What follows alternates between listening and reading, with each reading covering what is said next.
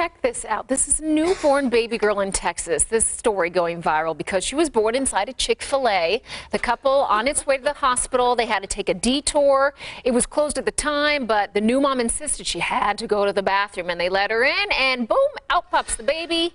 Little Gracelyn got a special gift from Chick-fil-A. Free food for life. And guess what? She's got a guaranteed first job when she turns 16. Oh my That's gosh. a pretty Wow. sweet deal. That is crazy. Chicken biscuits forever.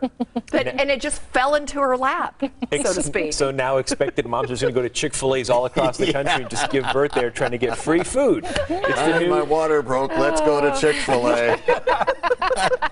but if you really like pizza, maybe try Pizza Hut or somewhere else and see if it works for you there. Hmm. We may have started something. Oh. now now trending on 8 News Now. You watch.